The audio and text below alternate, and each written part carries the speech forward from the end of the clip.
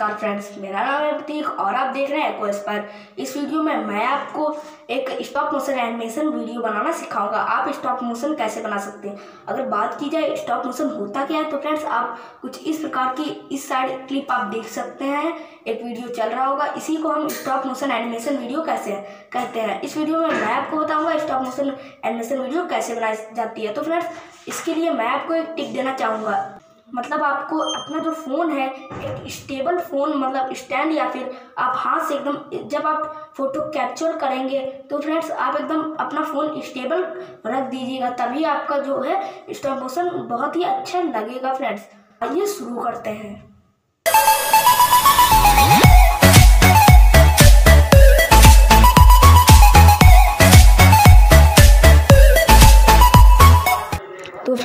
जैसे यहाँ पर सबसे पहले अपने कैमरे को ओपन करना है और फ्रेंड्स, यहाँ पे सबसे पहले आपको अपने ऑब्जेक्ट को रखना है। जैसे मैं यहाँ पे सीजर को कुछ इस प्रकार का एनिमेशन देना चाहता हूँ, खोल बंद होते हुए कि जाए।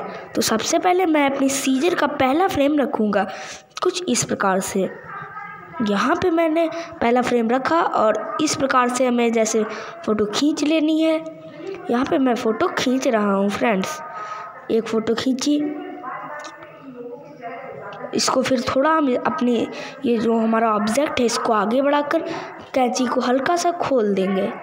तो फ्रेंड्स फिर से वही स्टेप हमें फ़ोटो खींचनी है। तो फ्रेंड्स, फ़ोटो खींचने के बाद यहाँ पे हमें फिर से थोड़ा सा आगे बढ़ाना है।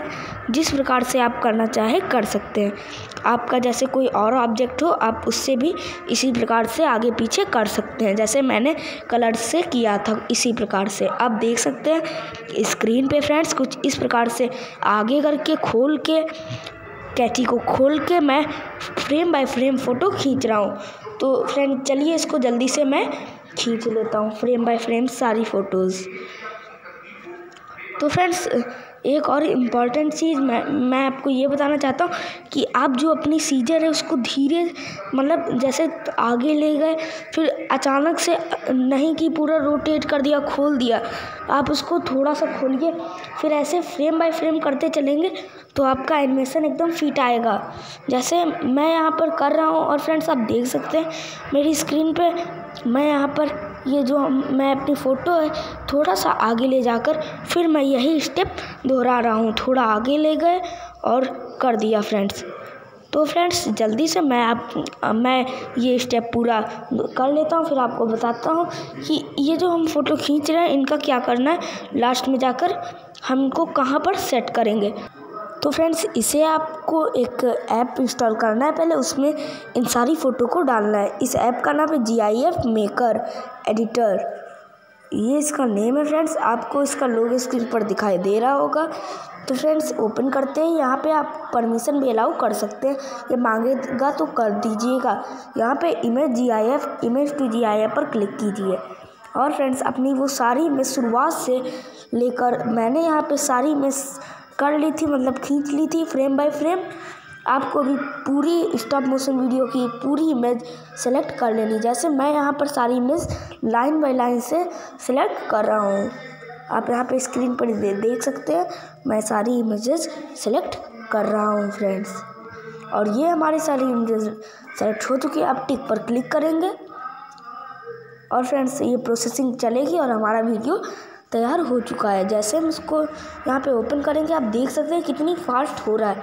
तो इस फास्ट को कम करने के लिए हमें यहाँ पे स्पीड वाले आइकॉन पर क्लिक करना है और यहाँ पे आप जितना कम करेंगे, खिसका के राउंड राउंड उतनी स्पीड कम होगी। आप देख सकते हैं किस प्रकार से हमारा जो एनिमेशन है बन गया है। जैसा हम चाहते थे कि कैची मूव होकर जाए।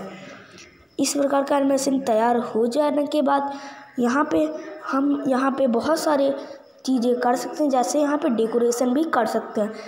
मैं यहाँ पे स्पीड पहले थोड़ी सी सेलेक्ट कर लेता हूँ, थोड़ी सी अच्छी स्पीड, और यहाँ पे आप डेकोरेशन भी, डेकोरेशन जैसे टेक्स्ट वगैरह भी डाल सकते हैं फ्रेंड्स। और फ्रेंड्स, यहाँ पे जैसे ही आप सेव करेंगे तो फ्रेंड्स एक यहाँ पे ख़राब बात है कि आप जब सेव करेंगे तो उसके साथ कोई भी साउंड नहीं आएगा फ्रेंड्स। तो फ्रेंड्स, साउंड लाने के लिए आप भी कोई भी दूसरा ऐप यूज़ कर सकते हैं। आप उसमें साउंड ऐड कर सकते हैं। तो फ्रेंड्स, यहाँ पे आपको बहुत सारे ऑप्शंस दे दिए जाएँगे फ्रेंड्स। और जैसे डेकोरेशन में हम जाएँगे और यहाँ पे जाने के बाद स्टिकर भी कर सकते हैं। जैसे मैं यहाँ पे टेक्स्ट में करता हूँ एक्वा एस्पायर आप स्क्रीन पर देख सकते हैं। मैंने किया और यहाँ पे कलर सेलेक्ट सेलेक्ट किया। शैडो में जाकर मैं ये भी सेलेक्ट कर सकता हूँ कि मतलब ये ब्लर कौन सा, पीछे कौन सा कलर ग्लो हो।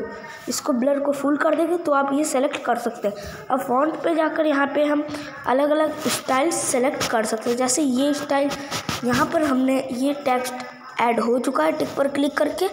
अब यहाँ पर हम कहीं भी क्लिक करेंगे स्क्रीन पे तो हमारा जो है टेक्स्ट ऐड हो जाएगा फ्रेंड्स यहाँ पे आप देख सकते हैं, हमारा टेक्स्ट जो है ऐड हो चुका है फ्रेंड्स और ये एनिमेशन काफ़ी ज़बरदस्त बन चुका है। अब सेव करने के लिए फ्रेंड्स यहाँ पे हमें सेव वाले अकाउंट पर क्लिक करना है और हाई करके यहाँ पे टिक कर देना है। तो ये प्रोसेसिंग होगा और ये हमारा सेव हो जाएगा। तो फ्रेंड्स तो फ्रेंड्स अगर आपको आज का वीडियो अच्छा लगा तो लाइक कीजिए शेयर कीजिए, मेरे चैनल को सब्सक्राइब करना मत भूलिए।